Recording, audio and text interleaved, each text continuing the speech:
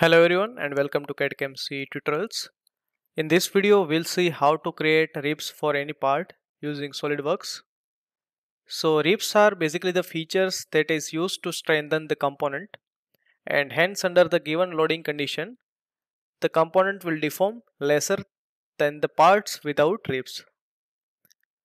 Here on the screen you can see that there is kind of a lid for a box and these are the ribs created for that part.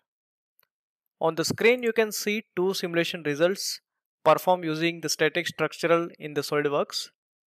On the left hand side you can see that the part without ribs deforms around 1 mm while the part with the ribs deforms around 0.5 mm. So under the same load of 20 Newton distributed over the face of this lid the part with the ribs will deform 50% lesser than the original part. And that is the function of the ribs feature for any of the part. So rather than increasing the material over the entire face of the part, we can distribute the materials in the form of ribs in a more intelligent way so that within the specified weight of the component, we can have significant increase in the strength of the component.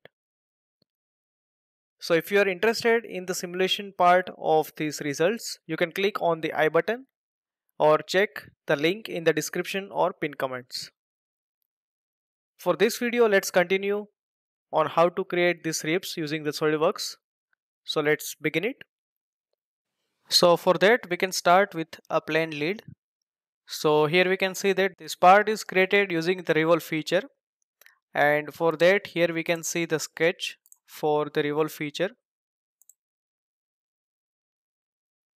So you can check all the dimensions of this sketch.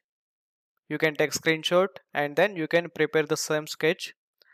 Once the sketch is ready, you can just revolve it for 360 degrees. So this will be our base part and then we want to create ribs for this part.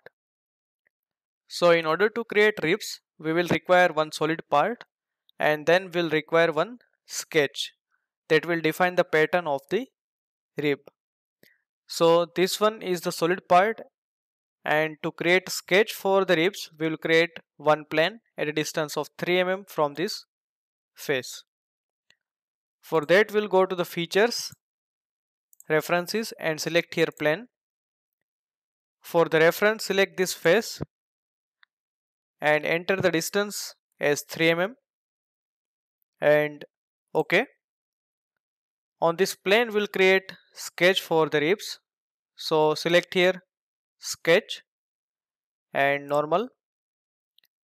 Now for the ribs you can either create a closed loop or an open sketch. In our case we'll create one circle at the center and then we'll create 12 lines. So click on the circle and create one circle with the center at the origin. And here the diameter of the circle is of 30 mm. Now we'll create one horizontal line starting from the circle and ending to this edge. Now select here this line and we'll create multiple copies using the circular sketch pattern and specify here number of patterns as 12 and ok now we'll exit the sketch. Now select on this plane and make it hide. So here we can see that this is our base part and this is the sketch for the ribs. In order to create the ribs we'll go to the insert features and select here rib feature. Now here it asks us to select the sketch. So from the model tree we'll select here the sketch that we have created. Once you select the sketch it shows different parameters to create the rib so you can create three types of ribs so this will basically tell us that how the material will be added to the sketch.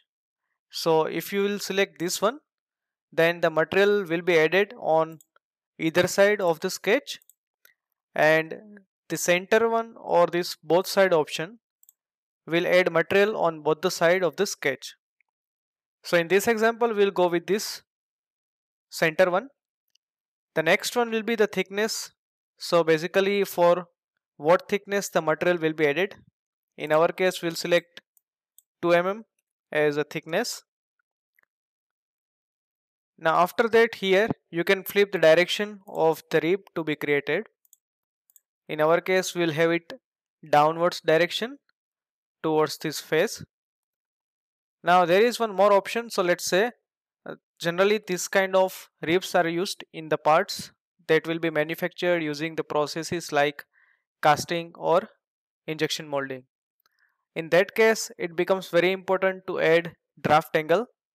So for this example we'll just click on this draft on and specify the angle as a 3 degree